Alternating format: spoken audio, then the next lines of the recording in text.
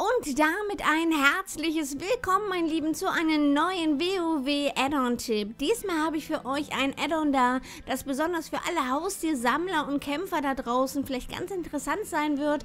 Denn mit diesem Add-on hier können wir unsere Haustiere in Gruppen sortieren, müssen die nicht immer wieder neu raussuchen. Und es hat natürlich auch noch ein paar andere sehr, sehr schöne kleine Extras, die ich euch jetzt aber einfach mal im Spiel selber zeigen werde. So, und da sind wir auch schon im Spiel und wenn wir dieses Addon natürlich jetzt runtergeladen haben und installiert haben, dann kann das Ganze eigentlich auch schon hier losgehen. Den Link zum Addon findet ihr natürlich wie immer unten in der Videobeschreibung. Und als allererstes machen wir natürlich jetzt erstmal hier unser Haustiermenü auf und da seht ihr auch schon eine Veränderung. Wir haben hier ein kleines Fenster dazu bekommen, wo wir halt unsere Teams verwalten können. Das Schöne an diesem Team erstellen ist einfach, dass wir nicht immer wieder durch unsere ganze Haustiersammlung durchscrollen müssen, müssen und halt bestimmte Haustiere immer wieder neu zu suchen. Nein, wir haben dann halt diese Teams hier, wo wir halt unsere Favoriten Haustiere haben oder auch bestimmte ähm, Haustiertechniken haben, wenn wir ähm, ja zu bestimmten äh, Haustierkämpfern gehen oder sowas, ne? wenn wir die Dailies machen und so weiter und so fort. Ne? Ich zeige euch jetzt einfach mal, wie wir hier überhaupt so ein Team ähm, erzeugen. Wir können natürlich auch jederzeit hier so ein Team auch löschen. Das mache ich jetzt einfach mal. Ich, wir müssen einfach auf das jeweilige Team klicken und löschen das hier unten einmal bei Team löschen löschen. Und wenn wir natürlich das Team wieder erzeugen möchten, gehen wir hier unten auf Team erzeugen und geben oben einfach wieder den Namen ein, den wir hier gerne wählen möchten. Ich nenne das jetzt einfach mal wieder Team 4 und klicken den jeweiligen ähm, ja, Icon an, den wir halt möchten. Ich nehme jetzt einfach mal hier das blaue Schwert. Bei den anderen haben wir hier auch diese Schwerter drin. Nehme jetzt hier einfach mal das blaue Schwert. Es ist auch eigentlich relativ wichtig, dass ihr euch ein Icon auswählt. Warum, zeige ich euch nämlich gleich. So, ich nehme jetzt wie gesagt einmal das blaue Schwert, klicke hier auf OK und dann haben wir das Team eigentlich auch schon wieder erzeugt. Wir können natürlich auch jederzeit das Team oder die Besatzung des Teams ändern. Und zwar gehen wir, wie gesagt, wieder auf das jeweilige Team immer. Ihr seht, dann ist das immer so ein bisschen unterlegt mit grün und dann können wir hier ähm, das Haus Haustier auswählen, was wir ändern möchten, schieben das einfach hier in das Team rein und dann wird das hier automatisch gespeichert. Wir können natürlich auch jederzeit den Namen des Teams, äh, des Teams oder das Icon natürlich auch jederzeit wieder ändern. Einfach hier auf diesen kleinen Stift hier gehen und dann seht ihr, öffnet sich wieder das Fenster hier und dann können wir das auch jederzeit hier ändern. So, ähm, dann das nächste, was auch noch wirklich sehr, sehr schön ist. Wir haben natürlich jetzt hier oben an der Minimap einen kleinen Button. Das ist so ein kleiner Fuchskopf. Und da, wenn wir da jetzt einen ähm, ja, Linksklick drauf machen, dann öffnet sich jetzt hier also ein kleines ähm, Teamfenster, kann man sagen. Und da sehen wir jetzt alle Teams, die wir erstellt haben. Deswegen auch der Icon, den ihr auf jeden Fall auswählen solltet. Weil wenn ihr keins auswählt, dann könnt ihr hier unten halt nicht so wirklich, ähm, ja, äh, was auswählen. Ihr seht auch nicht, um welches Team es sich handelt. Also man sollte auf jeden Fall ein Icon wählen. So, und wie gesagt, wir können jetzt hier auf diese Icons gehen und können halt zwischen diesen Teams hin und her switchen.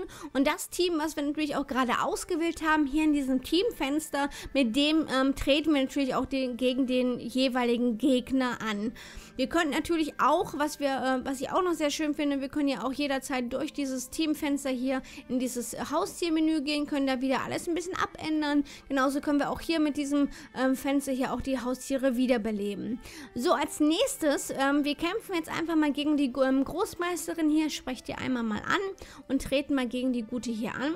Und das Schöne jetzt hier dran ist auch noch, dass ich wirklich, also mir persönlich immer sehr, sehr oft hilft, ist einmal dieses Kampffenster hier unten, was ihr seht. Ihr könnt dieses Kampffenster auch verschieben, das ist auch möglich, aber ich habe es eigentlich immer sehr, sehr gerne hier unten in der Mitte.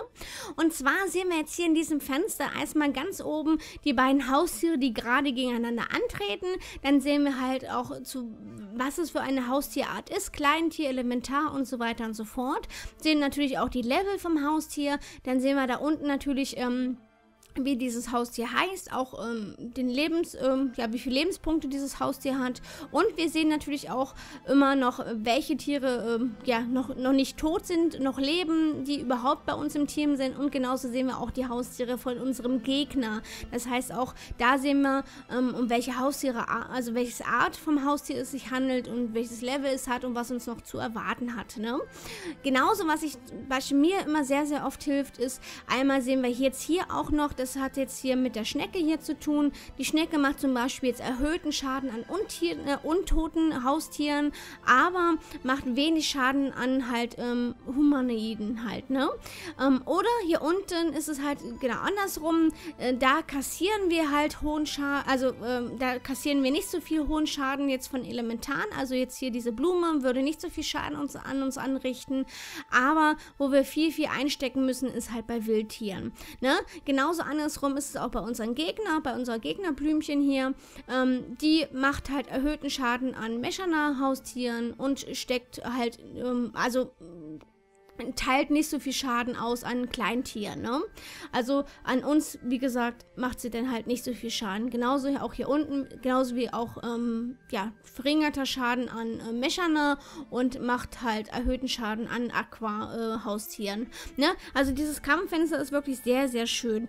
Ähm, was auch noch sehr schön ist an diesem Addon, wenn wir jetzt hier an ähm, Wildtieren oder an Wildhaustieren kämpfen, sehen wir oben, das blende ich jetzt hier mal ein, ähm, da sehen wir oben oben so ein kleiner Würfel ist da dran und daran sehen wir halt, dass diese Haustiere noch nicht in unserer Sammlung ist. Genauso, wenn wir jetzt zum Beispiel im Haar sind, das blende ich jetzt hier auch mal ein, dann ähm, sehen wir, ähm, wenn wir über dieses Haustier fahren im Haar, sehen wir dann gleich unten so eine kleine Meldung hier, dieses Haustier hast du noch nicht in deiner Sammlung. Also dieses ähm, Addon ist wirklich sehr, sehr schön. Ich möchte es auf jeden Fall nicht mehr missen und ich hoffe, ich konnte euch damit natürlich wieder einen schönen ähm, ja, Addon-Tipp geben.